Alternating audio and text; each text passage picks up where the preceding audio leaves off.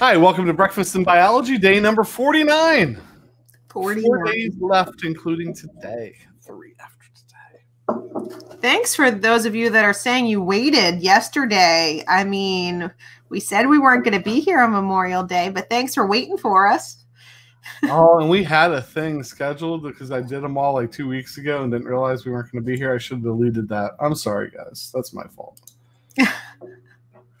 that's that's my fault. Who's here today? Eli's here talking about us making money. Um, Darius, Zuli, Gladys, Maya, Lexi, Aiden, Annie, Emily, Abby. Is that it? It doesn't look like a lot. I'm only seeing 11 people watching so far, but that normally pops up pretty quick after we start. Carissa's here too. Good morning. Good morning, Carissa. It's nice to see you. Thousand subscribers, then we can make peanuts. That's what they're saying. We can. Cohen, Jake. All right. Well, should we get into it? I mean, is there anything? Is there any reason to wait around? no. It's 1030. 1031. Let's go. Um. Survival of the fittest, man. They should be here. Right. So we've been talking about evolution, and we we love this. If you haven't figured out, we love this topic. We think it's really cool. Um. We said a lot last week that evolution is real because you define it as change over time, and organisms change over time. We talked about the difference between microevolution and macroevolution. And this, this week, we want to get into this microevolution idea or speciation idea a little bit more because we gave you a mechanism. We told you that there's such a thing as natural selection, and we went through a bunch of different reasons like we make more offspring than will survive, and the ones that are best fit to survive will grow up and reproduce, and blah, blah, blah, and all of that. But that's not maybe just even enough, right? So, what are some of the other things that are kind of play a role in this idea of speciation? So, let's talk about that. And I guess we need to know, Mr. Smith, what a species is. Right. And so, like, when we talk about a species, a lot of times people think about it as just a category and they say, oh, that we're talking about like Homo sapiens, we're talking about humans, you know, that's a species. Oh, we're going to talk about penguins, that that's a species. But really, you know, a lot of times when we talk about and you use a term as a species, what you're really talking about is a class or an order or one of the other uh, parts of that kingdom all the way down. But species in particular, when we talk about them, are a group that can actually reproduce together and not only reproduce together, but make fertile offspring. And if they can't do that, then they are separate species. And so the example that's there are bluebirds. There's actually a couple of different species of bluebirds. In particular, this one's showing the eastern bluebird and the western bluebird. So because they don't interbreed, then they are separate species. And there's a couple of different reasons um, that we're going to talk about of why maybe a species doesn't interbreed. It doesn't necessarily just mean that they can't. It just means that they won't or don't. Right. And it does, I mean, it kind of does. Well, correct me if I'm wrong here. It kind of does mean, in some regards, that they can't. Sometimes, I mean, to be a true species, because if we go back to species, you have to be able to produce fertile offspring. So sometimes they could breed, but still not produce fertile offspring. So and, and we're driving that home. It's that they can't reproduce and make fertile offspring. Let's say that. Is that right? Right. Okay. Sort of, maybe. Let's get into it. So, we're going to start with talking about some reproductive isolating mechanisms. So, real quick, think about this in terms of organisms are in a group and they can breed and they can have offspring. And then something happens that makes that reality stop. All right. And there can be several things. For one, there's a list of them here. We'll just run down the list. Geographic isolation. Maybe there's a barrier. Maybe there's a new river. Maybe through some geograph geological event there's a mountain in between them maybe there's you know whatever you want to call it, but somehow they get geographically isolated so what was once a, a population is now two populations separated by some kind of physical barrier temporal isolation temporal means time so this could be something as simple as their breeding season is different. So where they might um, this particular bird might breed in the spring this particular bird might breed in late summer. And because they don't look for mates at the same time that prevents them from breeding. Could be behavioral isolation so maybe there's a bird like a peacock that has a very specific dance that it does to get the other member the other sex excited right you know because that's important if you want to breed with them i guess and so that behavior doesn't translate. And I mean, just think about your your own life. I mean, there's people that do certain behaviors that wouldn't translate with you, right? That doesn't that doesn't get you excited, so to speak. Um, a, me- a mechanical isolation. So maybe one of the reasons that they can't breed anymore is because the parts don't fit. Take a moment, let that sink in think about it, they don't breed because the parts don't fit. Mrs. Smith made this slide, and she has this beautiful little picture down here of the damselfly parts. Right? And so different damselflies have different parts, and one species of damselfly doesn't fit. For a big round hole, you know? Right.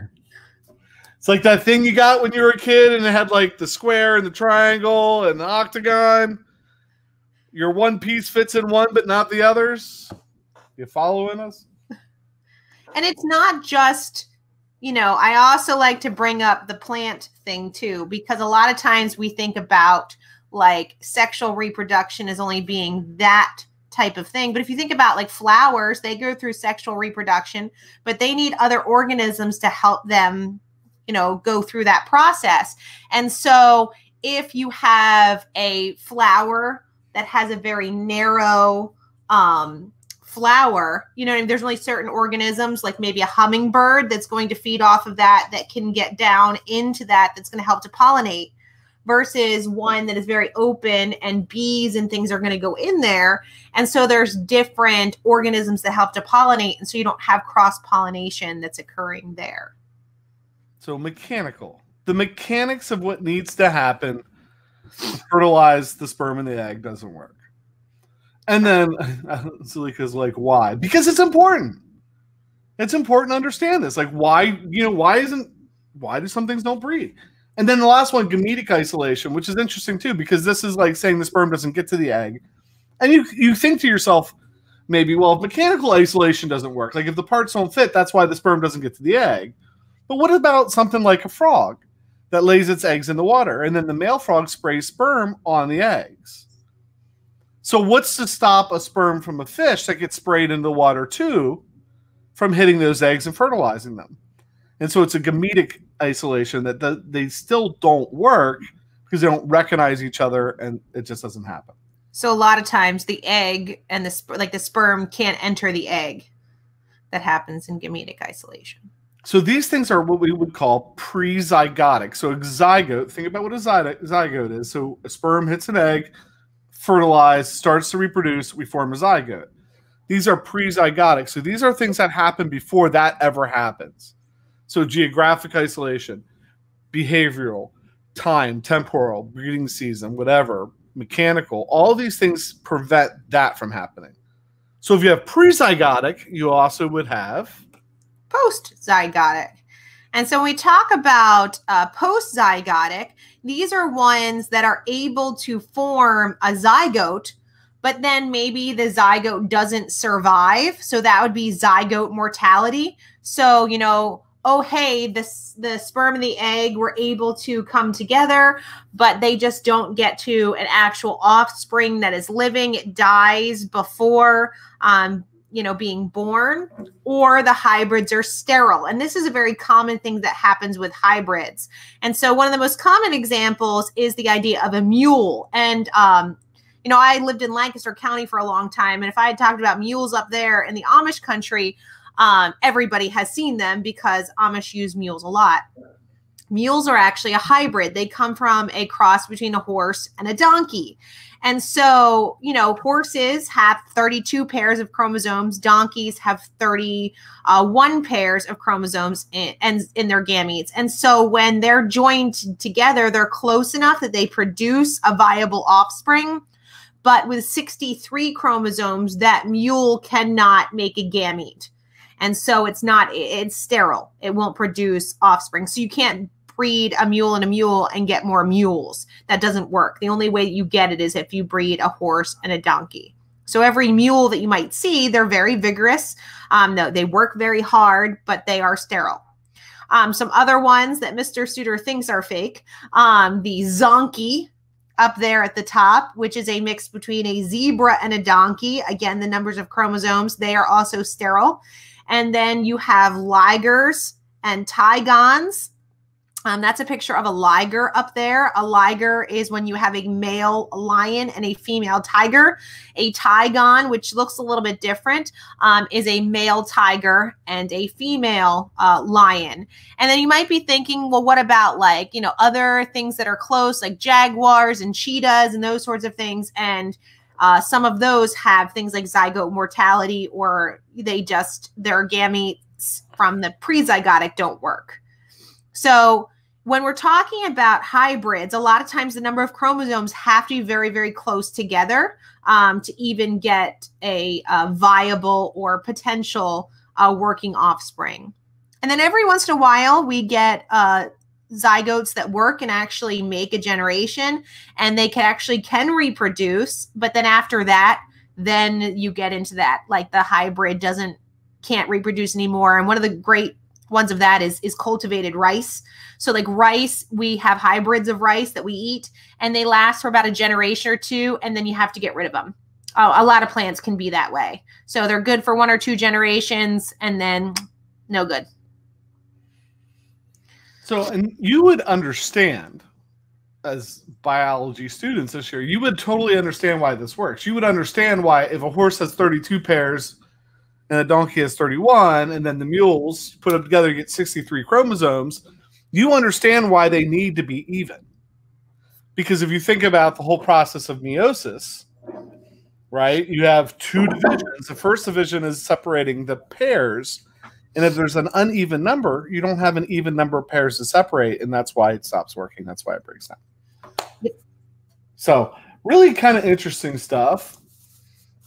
So, how does this, why does this all this, you know, where does it go from here?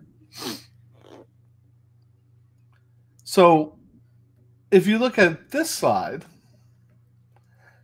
small changes can cause changes in appearance, but a change in appearance might not be enough.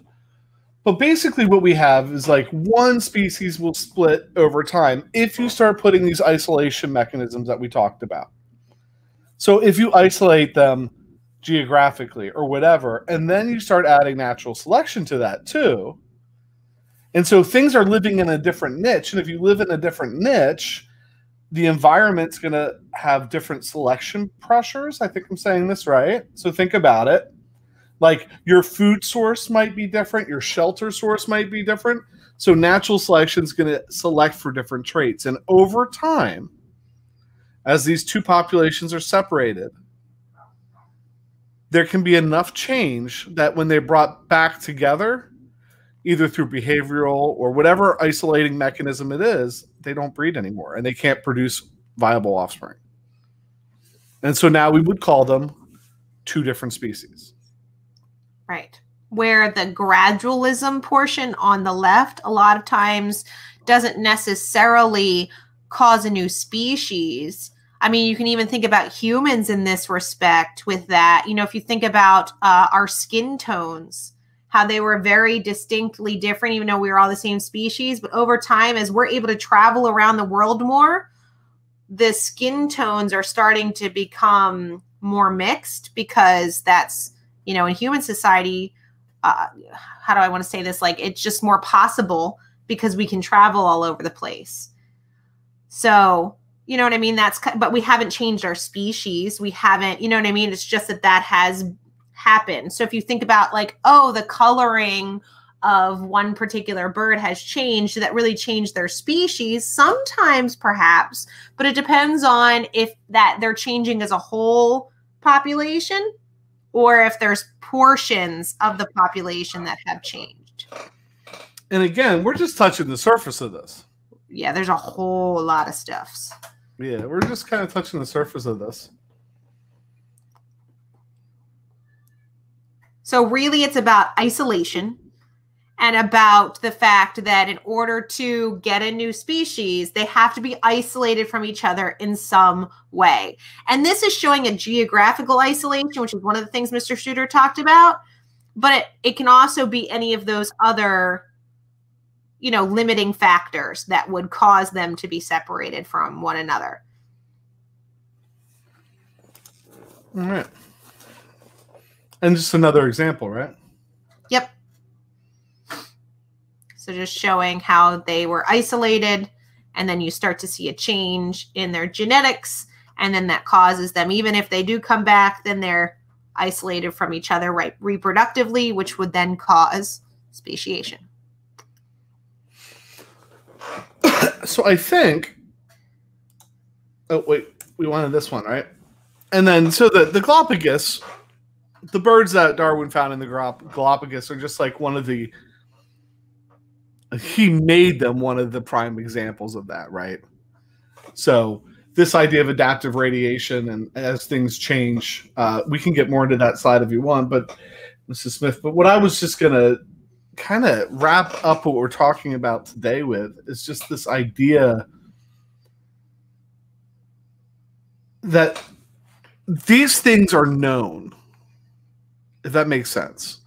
So when we talk about the evolutionary theory, we're talking about a theory that we take all the science and everything we know and we apply it and we go, this is what we think happens, and this is how we think happens, and here's the mechanism for it to happen.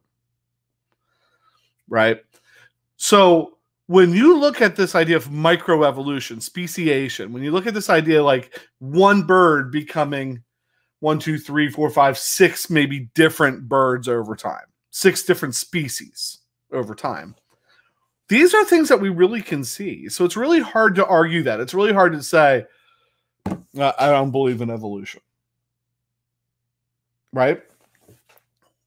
Where I, and I, I like to point it out, and I know that there's evolutionary scientists that would disagree with me, where it becomes tougher for people is when we get to the amphibian to reptile, reptile to bird.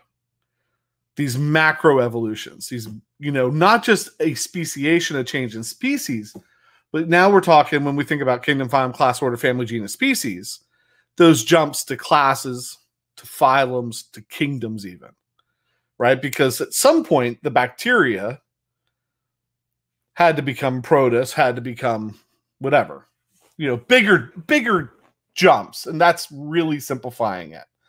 I know I always know when I'm really simplifying something because Mrs. Smith looks up at the and starts processing. You can tell by the look on her face. And then we remind her that's not AP bio, but it, it's it's those bigger jumps that people struggle with.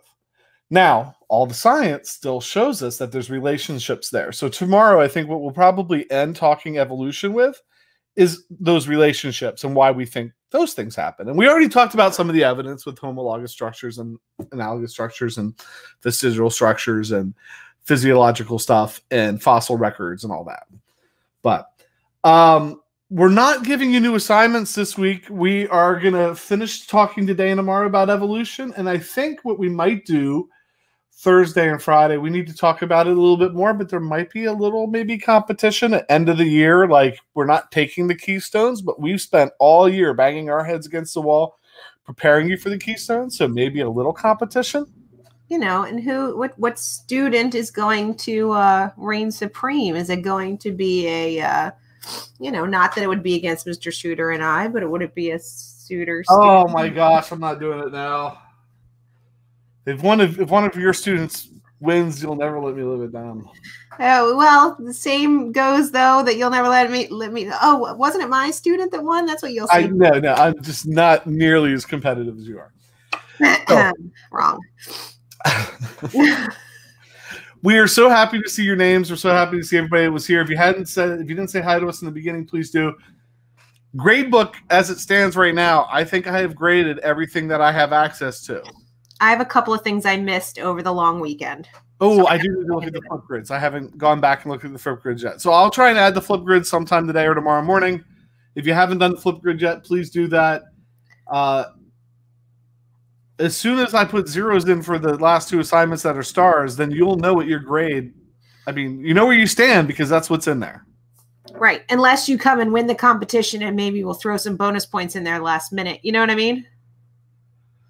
I think I think Eli wants to take you down. I think so too. I'm feeling a little uh you know.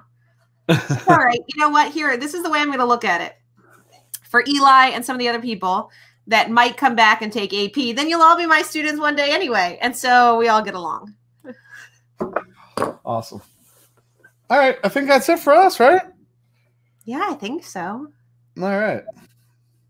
We miss y'all. And I know Dom showed up late and he said hi like 50 times, so we better say hi to him. Oh, Dominic in the house. Okay, bye. Yes, have a great day. Wash your hands. Take care of yourself. We love you. Um,